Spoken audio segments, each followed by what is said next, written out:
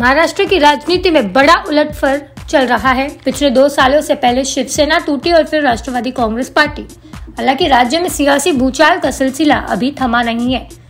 बल्कि शिंदे गुट के सांसद प्रताप राव जाधव ने एक और बड़े सियासी भूचाल की आशंका जताई। बुल्ढाना के शिंदे समूह के सांसद प्रताप राव जाधव ने दावा किया कि आने वाले वक्त में कांग्रेस में भी टूट होगी और उनके विधायक सरकार के साथ आएँगे।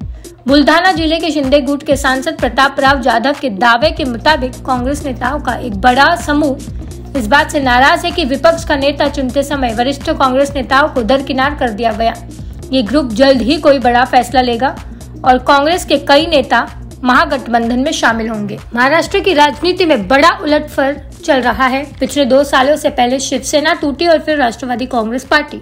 हालाँकि राज्य में सियासी भूचाल का सिलसिला अभी थमा नहीं है। बल्कि शिंदे गुट के सांसद प्रताप राव जाधव ने एक और बड़े सियासी भूचाल की आशंका जताई। बुल्धाना के शिंदे समूह के सांसद प्रताप राव जाधव ने दावा किया कि आने वाले वक्त में कांग्रेस में भी टूट होगी और उनके विधायक सरकार के साथ आएँगे। बुल्धाना ज़िले के शिंदे गुट के सांसद प्रताप राव जाधव के दावे के मुताबिक कांग्रेस नेताओं का एक बड़ा समूह इस बात से नाराज़ है कि विपक्ष का नेता चुनते समय वरिष्ठ कांग्रेस नेताओं को दरकिनार कर दिया गया। ये ग्रुप जल्द ही कोई बड़ा फैसला लेगा और कांग्रेस के कई नेता महागठबंधन में शामिल होंगे।